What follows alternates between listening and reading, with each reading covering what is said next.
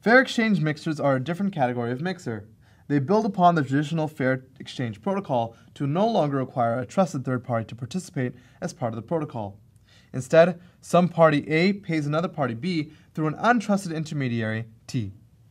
Suppose you have two parties, Alice and Bob, who wish to trade cryptographic items somehow.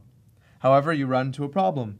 Suppose Alice sends her item to Bob, but Bob then refuses to send his item to Alice. In that case, it is not a fair exchange. Bob got Alice's item, but Alice got nothing in return, the poor thing. Fair exchange protocols seek to ensure that that scenario never happens. Either they both get each other's item, or they both get nothing. If the item being exchanged fits certain criteria, then fair exchange protocols can be improved upon to have other nice properties, like no longer requiring a trusted third party or being able to detect a dishonest third party. In this scenario, what's being traded is coins for a voucher. Alice can deposit her coins and receive a voucher to redeem a comparable amount of coin later. She can then redeem clean coins at her discretion, cleaning her assets. However, this style of mixer assumes that enough transactions are passing through the mixer at the same time such that distinguishing which inputs match to which outputs is extremely difficult. CoinSwap uses hash-locked 2 of 2 multi-signature wallets to do exactly this. It allows you to securely swap your coins with someone else without linking your transactions. The benefits are that it's trustless, since no party can steal your funds and has decent plausible deniability.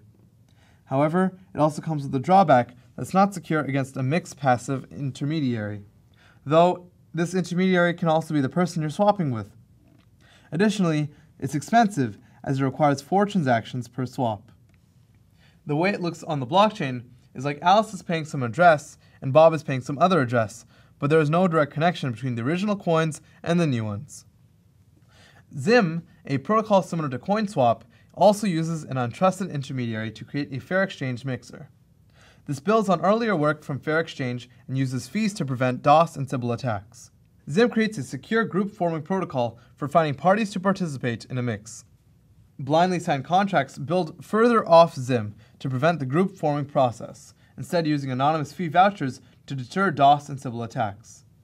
The issue is that implementing BSC would require scripting functionality not currently provided by Bitcoin. The idea behind Tumblebit specifically is to improve upon BSC so that the mixer is in fact Bitcoin compatible. This makes it state of the art in fair exchange mixers as of 2016. It implements an RSA evaluation as a service protocol to make blindly signed contracts Bitcoin compatible. It is fairly feasible for real world use given that enough liquidity exists to power the process. The general benefits with fair exchange mixers is that they're trustless, placing no trust in an intermediary. Additionally, some are even DOS and Sybil attack resistant. The drawbacks, however, is that they're difficult to build. Tumblebit only works with sufficient liquidity, Xim requires a few hours of computation, and BSC requires advances to Bitcoin script.